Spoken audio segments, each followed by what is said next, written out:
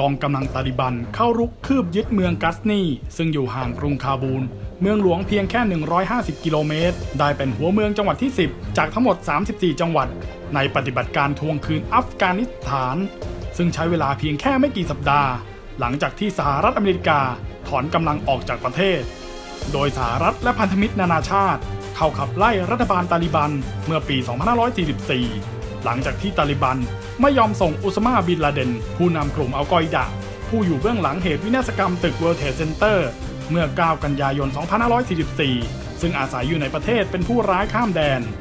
ตั้งแต่นั้นสหรัฐและพันธมิตร จึงได้เข้าคุ้มครองอัฟกานิสถานเป็นเวลาถึง 20 ปี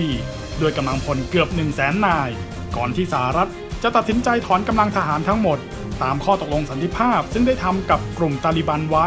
ณกรุงโดฮาประเทศกาตาร์เมื่อ 29 กุมภาพันธ์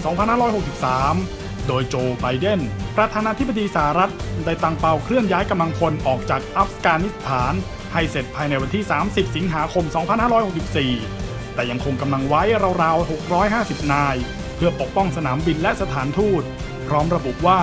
ตลอด 20 ปีที่ผ่านมา อเมริกาหมดงบประมาณไปกว่า 1 ล้านล้านดอลลาร์ อีกทั้งยังสูญเสียทหารนับพันนาย และยังสนับสนุนทางอากาศ อาหาร ยุทโธปกรณ์ และเงินเดือนให้แก่กองกำลังอัฟกานิสถาน จึงเรียกร้องให้ผู้นำประเทศ ต่อสู้เพื่อปกป้องชาติตนเอง แต่จากการรุกคืบยึดเมืองอย่างรวดเร็วของตาลิบัน ก็ทำให้มีการสันนิษฐานว่า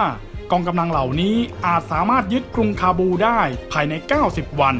นั่นทำให้สหรัฐ ตัดสินใจลดขนาดสถานทูตประจำกรุงคาบูลง จากเดิมที่ต้องการคงไว้เพื่อความช่วยเหลือ และบุคลากรทางการทูต โดยไบเดนได้ออกคำสั่งเสริมกำลังทหารเข้าไปในประเทศ เพื่อช่วยคุ้มกันการเดินทางออกของบุคลากรพลเรือน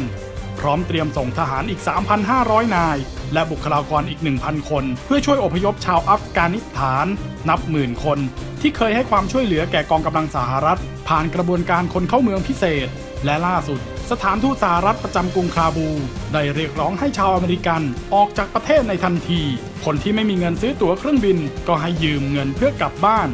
โดยจะช่วยเหลือด้านวีซ่าคนเข้าเมือง ให้แก่สมาชิกในครอบครัวที่เป็นชาวต่างชาติ